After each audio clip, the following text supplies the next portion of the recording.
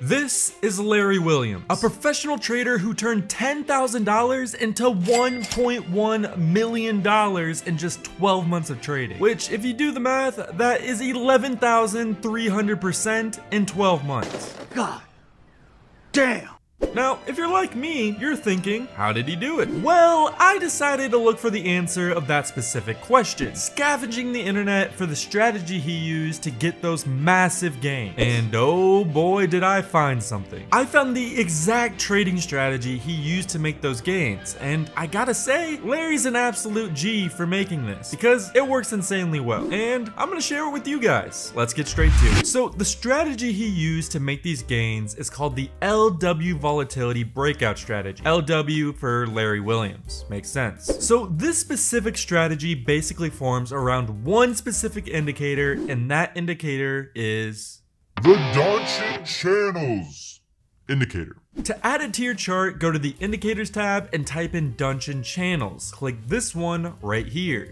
Now, the Donchian indicator by itself is pretty nice, but in order for it to work just how we want it, we gotta change the setting. Go to the settings of the indicator and change this length to 96. Then I'm also gonna go to the styles tab and change the colors of the lines to red so they're easier to see. Also, something very important. All of these settings I'm about to tell you are for specifically the 5 minute time frame, as that's the time frame Larry used for this specific strategy. If you want to use a different time frame, please do your own testing with different indicator values. So this is what the Donchian indicator looks like by itself. There are going to be three lines. The middle line, which basically acts as a mean reversion point for the market, which means the price will always be naturally attracted to this line, almost kind of like a magnet. You can also use it to tell the momentum of the chart. So if price is above the line, it's bullish. If price is below the line, it's bearish. Next is the upper and lower band. These bands can act as both support and resistance and oftentimes price will hit these and reject. But we can also use them as breakout points, as if price breaks this upper band, oftentimes price will continue to head upwards, which is exactly how Larry used it. That's a little foreshadowing. But there is a small problem with this strategy. Actually, it's a pretty big problem. Let me explain. You see, so normally how you use this indicator is once price breaks this upper band, you enter a long, set your stop loss right below this middle line, and set your take profit to something like a 2 to 1 risk to reward ratio, and you get a winning trade. But if the market is consolidating like this and moving sideways, this is when we start seeing problems with this strategy. Because when the market is consolidating, this upper and lower band are going to be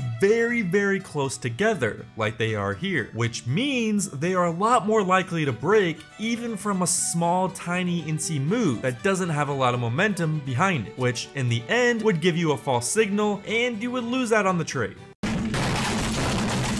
So we need to find a way to stop this from happening. So we only enter in high quality trades that have a lot of momentum behind them. In order to do that, we need to add two more confirmations. But before that, have you tried Trade?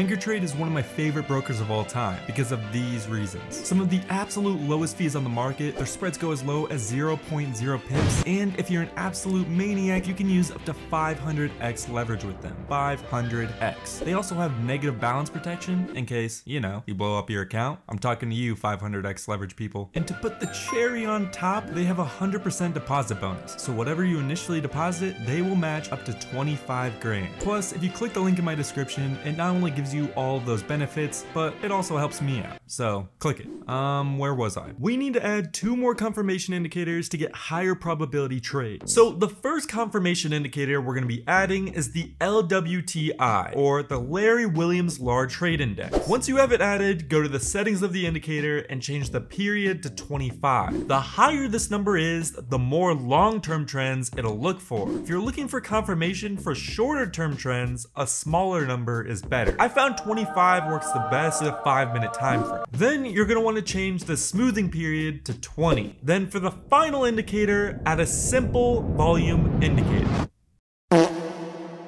I know, I know, pretty boring, but this will help us a ton with avoiding false signals. Go to the settings of the volume indicator and change the MA length to 30. Then go to the styles tab and enable the volume moving average and change the color to white. This volume indicator will help us identify when the market actually has momentum behind it and not just a small move. The strategy itself is pretty simple and I'm gonna teach you just how to do it. Then at the end, I'll give you a secret trick to make it perform even better. First, again, make sure you're on the five minute time frame. For a long trade, you wanna do this. First, you want price to come up and touch this upper red line. Once that happens, the next step is you want the LWTI indicator to be green. If it is red, you would not enter into the trade. Then finally, you want the volume bars to be above the white line and you also want them to be green. If they aren't above the white line or not green, you would not enter into the trade. This is going to be showing the market is not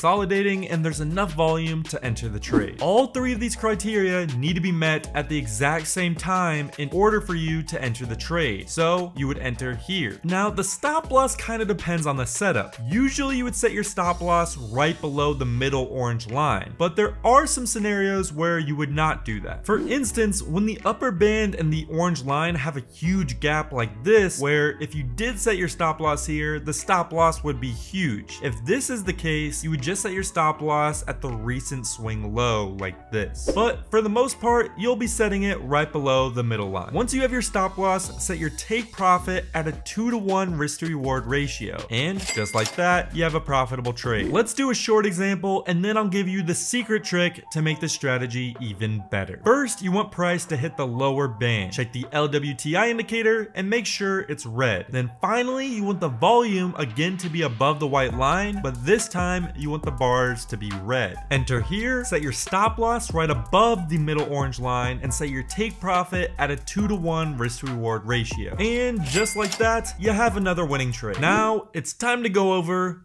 The secret trick. Another small problem I found with the strategy is when it's near a major support or resistance. For example, here all of the requirements were met. Price touched the upper band, the LWTI indicator is green, and the volume is above the line and also green. So we entered our trade like normal and set our take profit and stop loss. But if you look here, it was actually a losing trade. If we take a closer look and zoom out, you can see again all of our criteria was met, but it was met right at a clear, strong resistance level. So yeah, we got all of our signals, but since this was such a strong level, price bounced here. So in order to fix this, you would go on a higher time frame like the one hour. Then you would set all your major support and resistance levels. Once you have that done, do not enter trades close to those major levels. So in the trade I was talking about before, so sure our criteria was met, but since it was close to this resistance level, we would have skipped this trade. Actually, what I found works really well is if price is currently breaking a resistance level, then all the indicator requirements were met, this would be a great time to enter as there's a ton of confluence and bullish momentum in this trade. So yeah, if you pair this strategy with basic support and resistances or even supply and demand, it works absolutely great. If you guys want to learn how to draw the perfect supply and demand zones for this strategy, watch this video because I basically tell you specifically on how to draw the best zones possible. Thanks for watching, and I'll see you guys next time.